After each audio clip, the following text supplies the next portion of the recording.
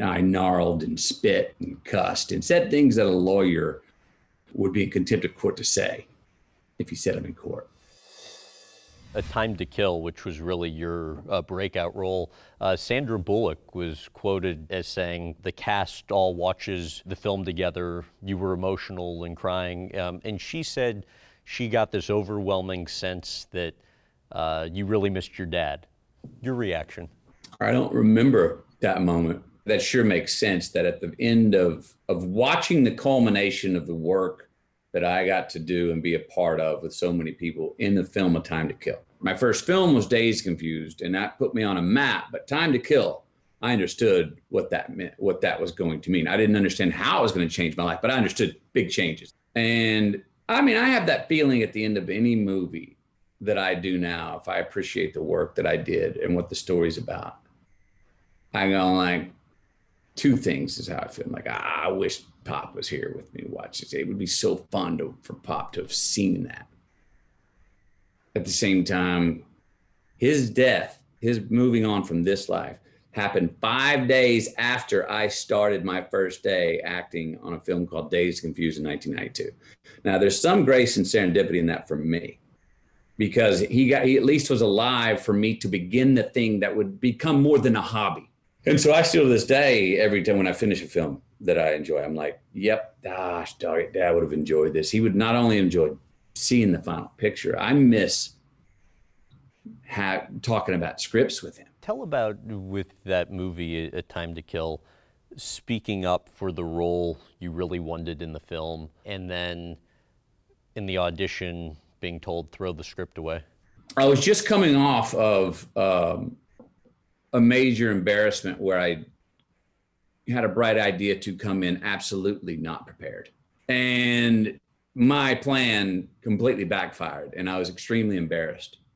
Um, and I vowed not to ever want to do whatever I could do to not ever feel that kind of embarrassment again. So I had prepared for this meeting with Joel Schumacher for A Time to Kill. The role I'd been offered was that of Freddie Lee Cobb. Kiefer Sutherland ended up playing the role. I not only was prepared for that role, I'd read the obviously the whole script, broke it down, and read the book, Time to Kill. When I read that, I was like, this guy Jake Brigance, the lead, that's the guy I should be. That's the guy I want to be right there. So I remember going in saying, you need to look for an angle to go to let him know you think you should play Jake Brigance. And in that meeting, I remember saying to him, I said, Joe, I said, uh, uh, who's playing the lead? Uh, um, uh, Jake Brigance. And I'd heard someone had said, mentioned the name Brad Pitt. And he goes, you know, I don't know. We haven't found the right actor for that part yet. Who do you think should? And this was my moment. I remember my heart raising a bit, going, this is your window. This is your window. My heartbeat starts going up, up, up, up, up, up, up. Took a drag. And I went, and looked him right in the eye and said, I think I should. And he saw me, and all of a sudden, I remember his hands going up in the air. Oh, that's a great idea, Matthew. You would be a great Jake Brigance, but trust me, that is never happening. The studio is never going to approve, approve a relatively unknown for this lead, but it's a great idea. And I remember settling in, going, okay, we've planted a seed of that you want to play Jake Brigance because later on they could not fill the role. So the way I'd said it, the timing I had said it, it stuck with Joel Schumacher.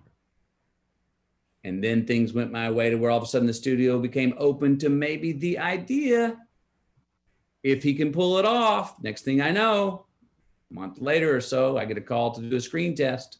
And I walked in and uh, I did this final summation as it was written and did a good job. I did a good job. I didn't do a great job. There was no magic, but I knew you just connected the dots. You just told a good story.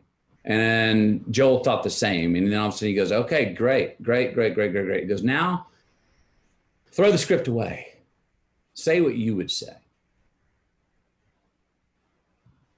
Now, I'm arguing a case of there being a time where it, it, it, it would possibly be okay a, as a courtroom argument to say a father could kill someone if they raped his daughter. I was not a father at that point, but it's the only thing I knew I ever wanted to be. So I thought, what if that happened to a child of mine? And I guess my voice kind of got down, kind of like where it is closer to now. And I said, and I, I, I gnarled and spit and cussed and said things that a lawyer would be in contempt of court to say if he said them in court. But when I was, or before I was done, I was still going, I was still rolling and literally sweating in front of this jury. And Joe was got cut, got it, got it, got it, got it, got it, got it. Beautiful, Matthew. That's it. And that was it. The studio saw it and approved. Now I had to get John Grisham and his wife to approve. And and they saw it. And day the story goes, John told me his wife goes to to to her husband John, who the character Jake Brigance is based on, to that's you. He's he, he's you. That's that's that's the character. That's Jake Brigance. Got the call from John and Joe Schumacher late at night, shooting on the desert, and he goes, "You want to be Jake Brigance?" I said, "Hell yeah, I do." Ran off into the desert, tears coming down my face. Another full moon, I do believe. Took a knee, put a hand up, said, "Thank you."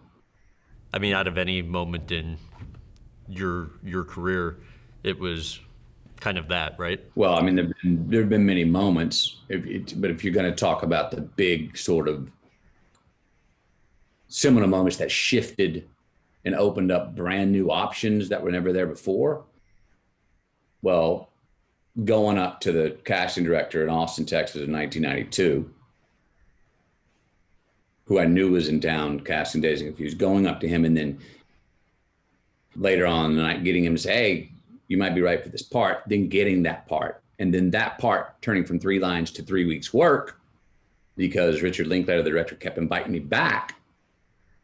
Look, if I don't get invited back in the role of Wooderson on Dazed Confused, if I go do my three lines and that's it, am I sitting here right now?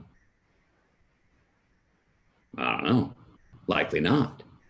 Do I get offered the role of Freddie Lee Cobb in A Time to Kill? which gets me gets me in the office with director Joel Schumacher to then say, no, really, I think I should play the lead, Jake Brigance. I don't know. Likely not.